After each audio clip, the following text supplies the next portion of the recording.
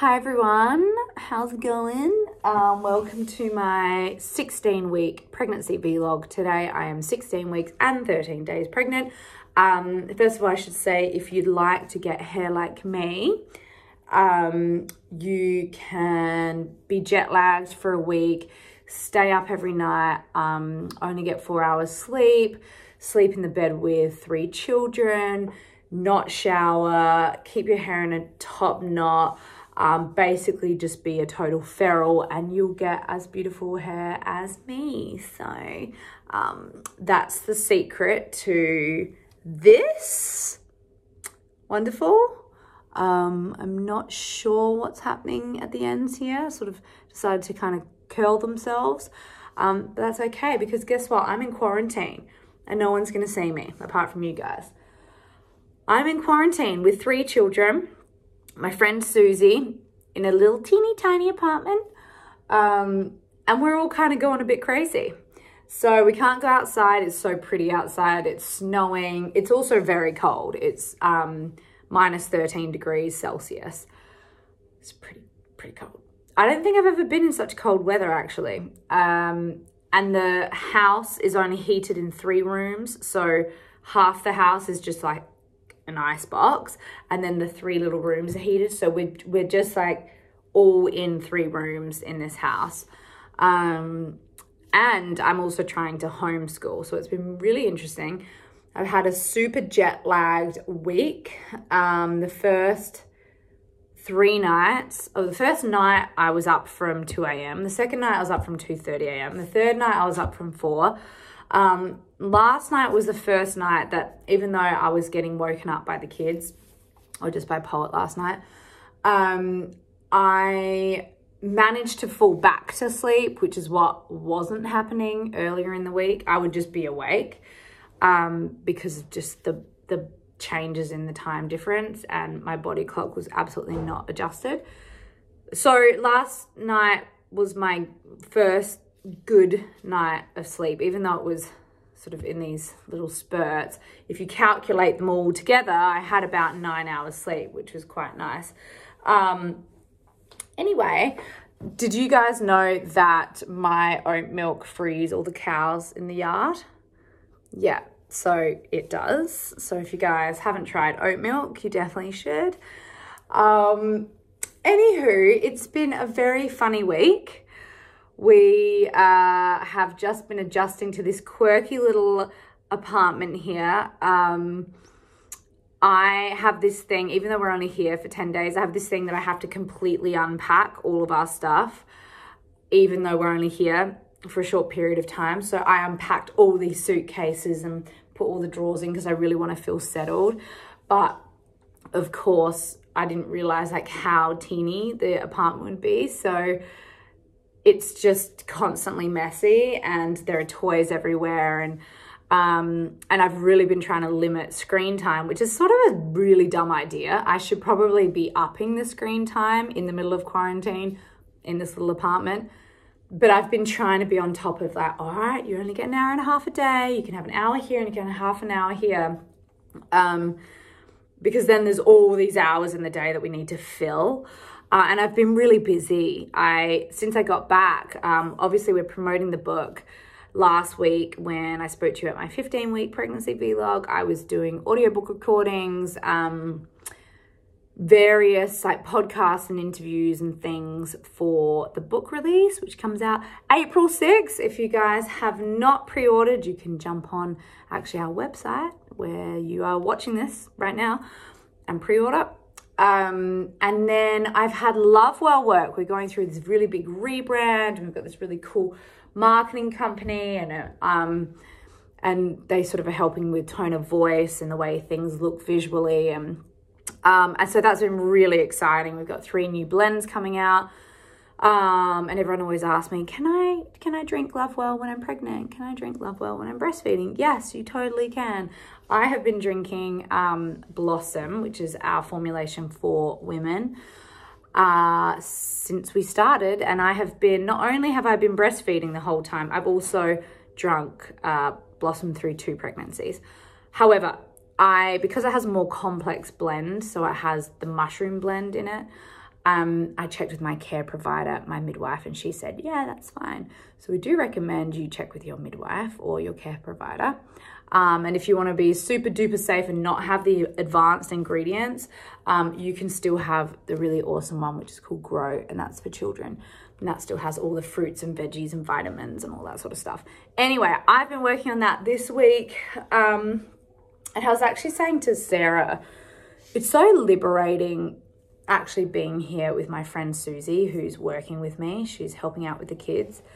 Um, because when I don't work, we don't have a nanny. It's just me and it's just Mark and it's all of our kids. And I was saying to Sarah, like, oh my goodness, this is what it feels like to actually be able to get work done. That's so mental. Um, and she has a nanny that lives with her, Sonia, who is amazing. Um, literally the best person, one of the best people in the entire world. Um, and Sarah can get Bayo work done. She can get your Zen Mama work done. And I just said to her, I was like, oh my gosh, this is so freeing. Like I've been able to work on Lovewell, have a two and a half hour meeting and not feel like, sorry, Mark, ah, oh, I'll swap out with you. Um, so yeah, it's been quite interesting because I feel like I'm actually getting a lot done this week. Um, while still being able to homeschool and, and all those sorts of things. So it's been a pretty productive week for me. Um, Pregnancy wise, I feel so good. I love the second trimester so much. I think I'm feeling little, little like hints of things, flutters, um, which is in some ways not alarming, but I I just had this expectation that I'd be feeling her a lot more because she is my fourth baby.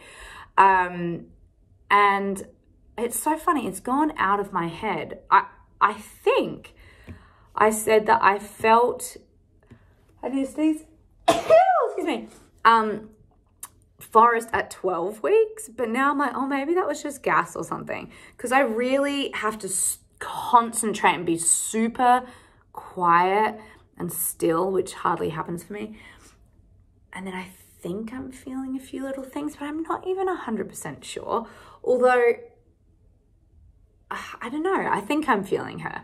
Um, but actually my phone right now is resting up against my Sonoline B ultrasound machine um, because I have been using it once a week until I can really feel her. I use it just to check in and make sure she's okay in there. Um, but anyway, this past week, I can't remember if I talked about this. Let me see. I'm going to check my calendar. Can't remember if I talked about this last week. Yeah, I probably did.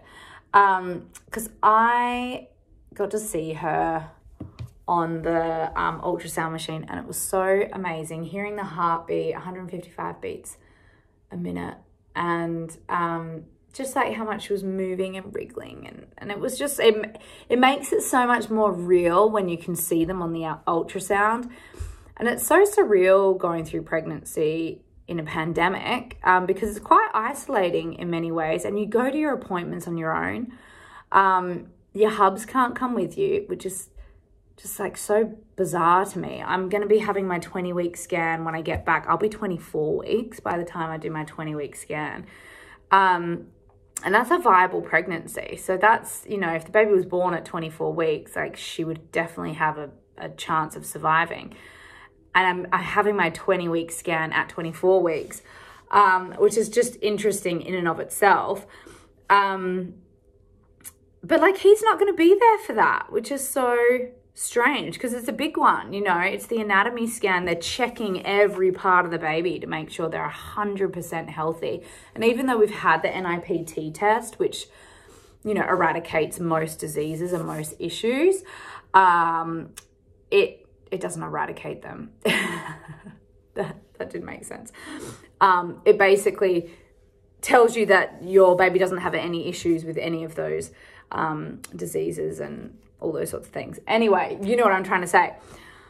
I feel confident that she's healthy, but still the next big hurdle is that 20 week scan where, you know, what if they see something and then and then you, you're not there with your partner. You're just sort of like on FaceTime with them.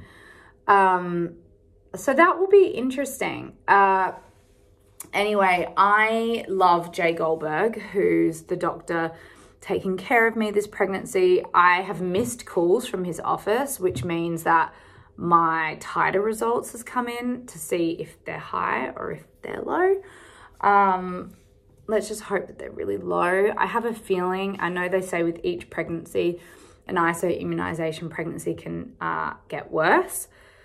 So since Poet, there was just essentially no risk to her because my titers were always so low, if not nothing. I'm hoping that if anything, even if they're there, this it's such a small, like a, a nominal number, we wouldn't even have to worry about it. Um, they've only called me once, so I would assume that's good news, maybe good news. I don't know. Um, but yeah, so I'm feeling really good. I'm still sleeping on my stomach, not on purpose, but um, it's just the way I sleep. And I'll wake up and I'm like, oh God, I'm like flat on my tummy again. So tonight I was thinking of putting um, pillows around me, either side, to try and make sure that I can't flip on my tummy. So anyway, we'll see. Um, I know the further along I get, I won't be able to, it, it just won't feel comfortable at some point. So hopefully my body will stop doing that. And then I was reading something yesterday about how you can really decrease your chance of a stillbirth from 28 weeks if you are not sleeping on your back. So I'm really gonna try to not do that. Um, obviously, that is my biggest fear in the entire world is having something like that happen. Uh, so I thought like, oh, if I buy, I've got a really crappy pregnancy pillow right now, which is sort of very deflated and it was just a cheap one I got a few years ago. I'm gonna get like a proper sturdy one and sort of put it around me so I can't sleep. I have to sleep on my side. Um, so yeah, that's something I'm planning on doing. I am about to start this job, which is wild to be working and to be pregnant and also it's a um you know it's a very intense dramatic piece it is a horror film so you know there's that element to it but actually it's about a woman who's grieving the loss of her child and sort of um she's losing her mind so it's going to be a very emotionally draining mentally draining performance uh, I'm really excited about it because I feel like I haven't had a character that I can really um, go to the depths of despair with for a long time. Um, and she's just in this perpetual state of grief and mourning. So it'll be really interesting. But I just think, oh, how am I going to protect my my little one in there from these feelings? So I just have to figure out like how to have boundaries and how to kind of wipe my stuff off at the end of the day and not carry it with me. Um, the last time I did a film like this, it was called Berlin Syndrome. And that was about five years ago. Um, and it was just so intense. And I only had Bodhi at the time, but I remember just being so, feeling so messed up. I hope now, you know, I'm older now, I've got more kids. I think I should be fine. Um, but anyway, I'll definitely keep you posted and let you know how it's all going. Can't believe I'm about to start working after I've finished work, had three weeks break, and I'm back again. Um, but really, you know, I'm doing it because I know I'm going to be taking most of the year off after this. In terms of acting stuff, I'm obviously going to, you know, I'm still helping to run our business and, and Your Zen Mama uh, and Your Zen Life. There's still other things going on, but in terms of actual filming, this will probably be it for the rest of the year. I may do something small at the very end of the year, but um, uh, we have to make money. we have we have a home. We have a home in America. We split our time between America and Australia. Um, so the kids have school in Australia and then my stepson has school in America. So, you know, we have to, we have mortgages to pay. So that is why I'm here and that is why I'm doing this. And, and also it's a really good script. So I'm excited. Now, before I go, I'm going to quickly show you my belly. There it is, little 16 week belly. Oh my God, I'm just about to run out of time. Okay, guys, that's it. I will talk to you next week. Bye.